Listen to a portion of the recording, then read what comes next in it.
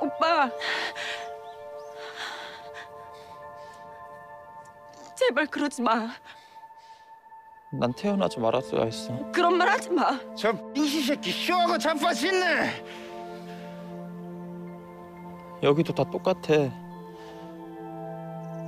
어차피 난 벗어날 수 없어. 아니야, 오빠. 바꿀 수 있어, 내가. 내가 도와줄게.